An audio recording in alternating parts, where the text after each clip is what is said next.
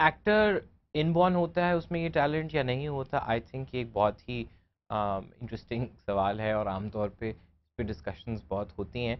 तो हाँ मैं उन लोगों में से हूँ जो ये बिलीव करते हैं कि जिस तरह अल्लाह ताला ने हर किसी को कोई ना कोई ख़ास टैलेंट दिया होता है कुछ करने का uh, जिस तरह पेंटर्स होते हैं मुझे लगता है या वो पेंटर्स होते हैं या नहीं होते तो गाने वाला या गाने वाला होता है या नहीं होता आ, उसी तरह एक्टर्स होते हैं या नहीं होते।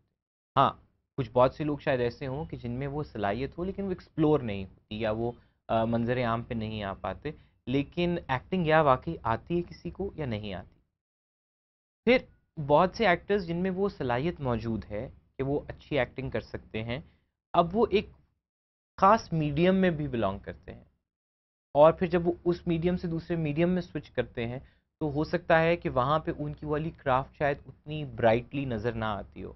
फॉर एग्ज़ाम्पल एक थिएटर में काम करने वाला एक्टर है, उसकी बिल्कुल फ़र्क तरह की मैकेनिक्स की ट्रेनिंग की जाती है।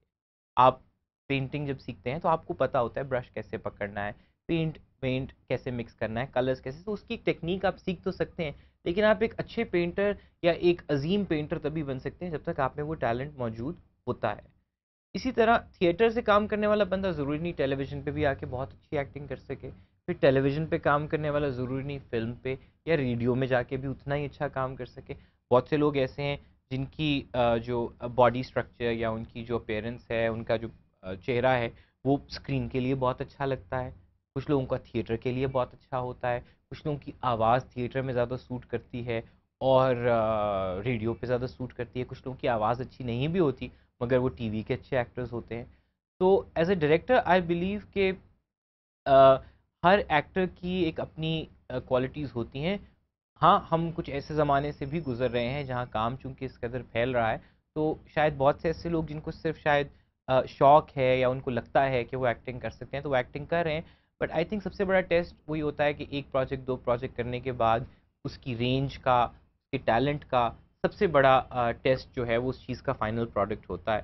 तो डेफिनेटली आई थिंक एक्टर को आप टीवी के हवाले से अगर मैं बात करूँ हाँ आप उसको टेक्निकली तो ग्रूम कर सकते हैं, इसकी टेक्निक है मतलब मुझे अब कैमरे में देख के इस वक्त बात करनी है तो वो मैं किसी एक्टर को बता सकता हूँ कि भाई यहाँ देखेंगे आप टेक्निकलिटीज़ होती हैं इर्द गिर्द लाइटें लगी हुई हैं, या आपका एक चलने का आपको मार्क कर दिया जाता है कि भाई आपके साथ साथ कैमरा मूव कर रहा है तो आपने कैमरे से इतने डिस्टेंस पे रहना है।